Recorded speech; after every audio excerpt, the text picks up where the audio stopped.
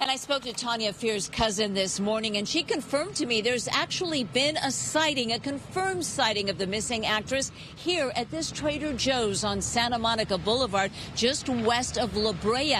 It happened yesterday. Now, no word if she was actually shopping inside the store or was simply spotted outside, but concern is growing for her welfare. Take a look. Again, her name is Tanya Fear. She's been in several movies and television shows, including Doctor Who and today she is officially missing. Friends and family saying she hadn't been heard from since last week, and they reported her missing on Thursday. The actress, who actually lives near the Hollywood Bowl, had recently been on the cl comedy club circuit, and according to her manager, who spoke to her last week, had been in good spirits. Friends say there was that possible sighting of her here at Trader Joe's. She is reportedly wearing a brown short-sleeved fitted blouse with plaid pants or plaid shorts. Unclear exactly what she's wearing. If you have seen Tanya Fear, if you have any information on her, please call the LAPD. Again, her family is very concerned